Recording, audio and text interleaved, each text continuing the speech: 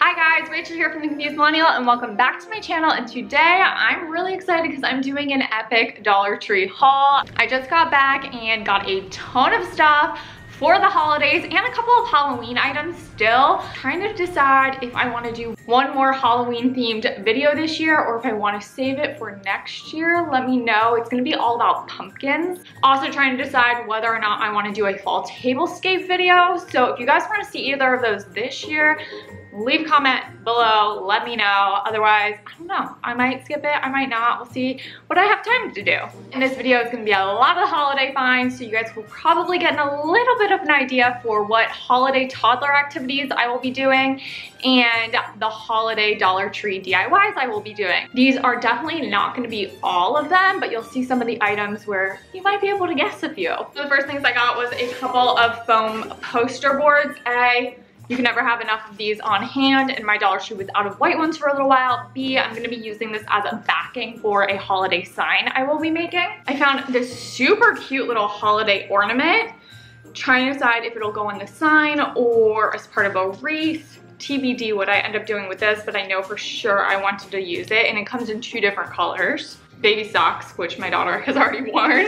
Also got this little wooden sign. I'm not using this side, I'm using this side for the holiday sign that will go up on my open shelving. I also got a couple of these little white storage bins. I just cleaned out and reorganized our closets and these are really helpful if you have shelving in your closet to keep things sorted so one of like the big issues we had in my house was pajamas or shirts that we only wore for like an hour. I didn't want to put them back into our clean drawers, but I also didn't want to leave them on the floor. So I actually use these for those in-between clothing items. They also make really good foot baths. If you guys like get, fill this up with hot water, a little magnesium flakes or Epsom salts, really nice. I got a clear pencil pouch. I have a pegboard in my office and I use their clear pencil packs to store crafting items. I like that I can see what's in the bag um, and then the little hooks work really well if you're hanging this type of stuff up. I found these super cute little wind up hopping chickens. I haven't given them to my daughter yet, but they were just adorable. I also got some fake snow in two different styles for some DIYs I'll be doing. A mop head.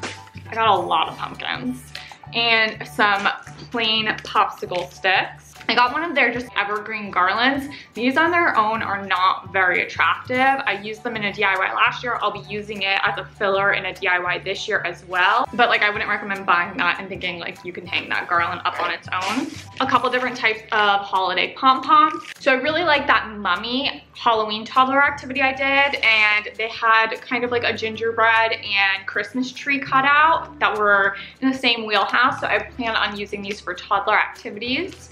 I got some letter stickers for a DIY I'm gonna be doing. I got some Halloween stickers. It's about, we're halfway through October right now, so we still do have some time with Halloween. And my daughter has actually just started getting into stickers, primarily because I never gave her any before, but she's very into band-aids right now, so I think she's gonna have fun with these. I got a handful of different small ornaments. These are gonna be for some toddler activities and for a DIY. I got their tiny little sisal I think that's how they call it, like these sisal trees. I just got a bunch off of Amazon too though during Prime Day.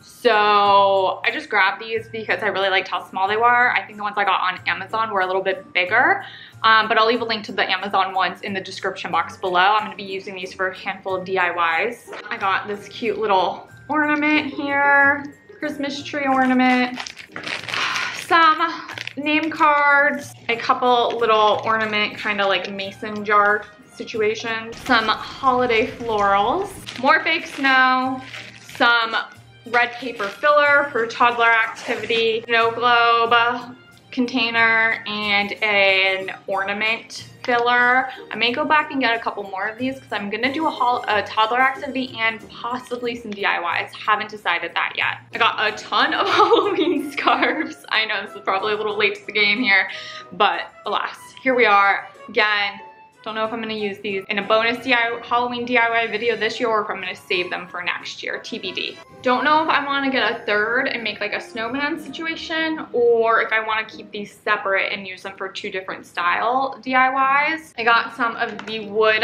contact paper.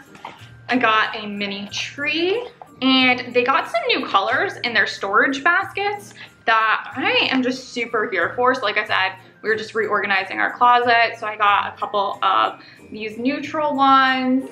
I got this really fun blue one, and then I got a red, orange, and blue basket. We use these for all sorts of different things. We keep a basket outside by our pool for pool supplies. We keep some in our toy storage. We keep some in our closet. So I just really liked the updated colors, and I had been meaning to get more anyway. Make sure to hit that notification and subscribe button because you definitely won't want to miss what I end up using all of this stuff for in my holiday toddler activities and my holiday Dollar Tree DIYs. So stay tuned, turn on those notifications, all that good stuff. If you guess what I'm gonna be making, I'd love to hear it. And like I said, let me know if you want me to do one more Halloween video all about the Dollar Tree pumpkins or should I save it for next year? Or if I should use these in a fall tablescape video, let me know. In the meantime, I'm Rachel. Feel free to hit me up on Instagram at The Confused Millennial with any questions, future requests, all that good stuff. Talk to y'all soon.